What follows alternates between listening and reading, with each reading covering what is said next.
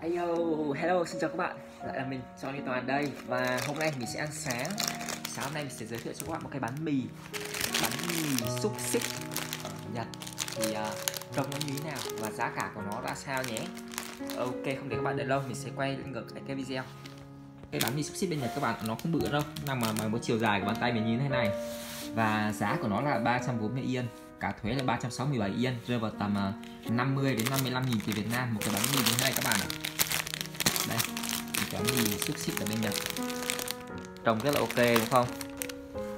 Cách ăn của nó là sao? À, mình sẽ bỏ vào lò vi sóng và không nóng nó lên. Trong vòng một phút.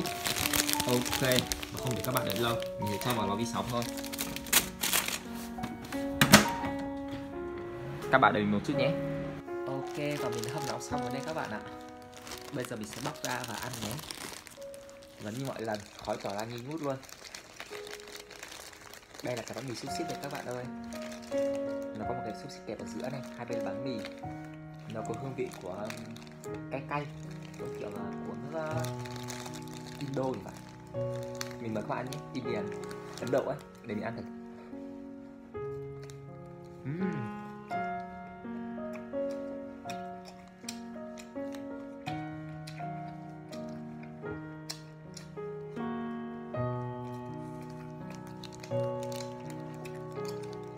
55 ngàn cho một bánh mì như này bên Nhật các bạn.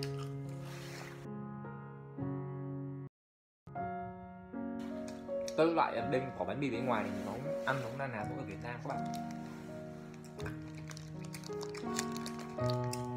Rất là ngon.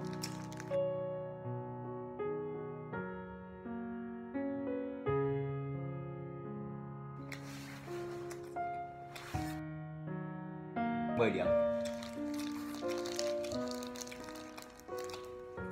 Không chơi vào đâu được.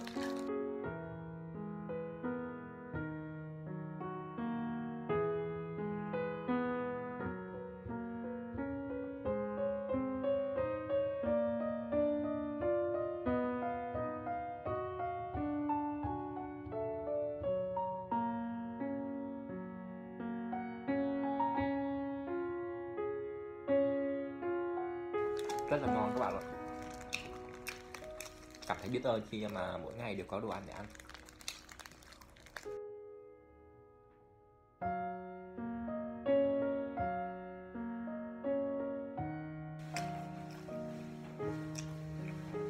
Ok và thế là mình đã xong rồi. Mình cảm ơn các bạn đã xem video. Hẹn gặp lại các bạn trong video tiếp theo. Bye bye. Cảm ơn các bạn vì đã luôn đồng hành nhé